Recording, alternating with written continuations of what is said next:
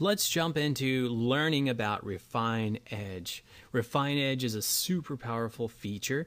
It just came into existence with CS5 and it can save you a lot of time on isolation if you know how to use it. What we want to do with this tutorial is I want to move the figure of this girl onto a different background. The one she's on is okay, but I want a happier, brighter beach, so let me show you what I got. I want this one.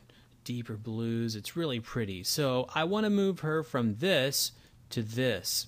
I've already put my background layer below her and I'm going to turn it off for right now. We can't see it anyway. We need to isolate her and get her onto this new background. We can do that really quickly and simply with the quick selection tool.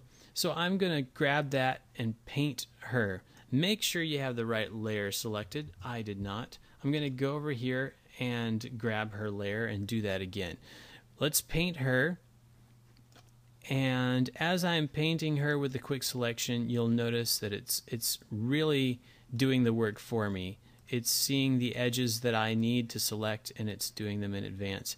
If you don't know how to use quick selection, you can check out our other videos, uh, but it's a really useful tool.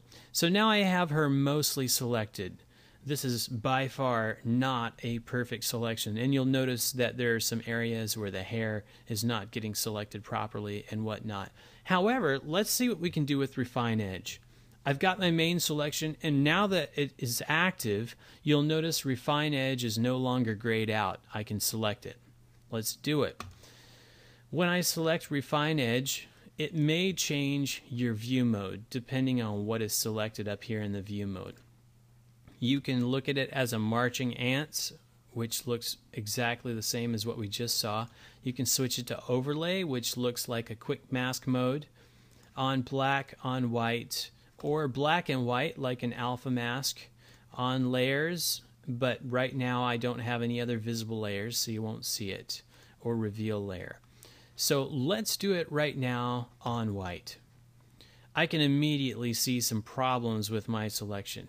She has hair hanging down here which is not visible because the quick selection tool didn't see it and it would have been really hard to paint in.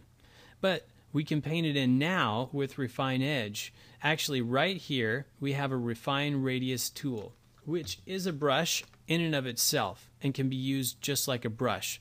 It can be resized with brackets just like a brush tool and I'm going to paint over the hair that I want to bring back into the image.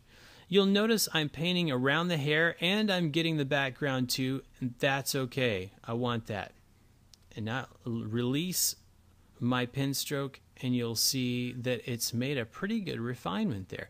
There's a little bit of leftover down here where the shadows were on the water and it didn't discern between the two, but it's still pretty good. We'll correct the rest later. Here we go up by her head. There's another section of sky that didn't get masked out. So we're going to paint there. Look at that. Refine Edge has, through the edge detection brush, actually eliminated it for me really quickly and easily.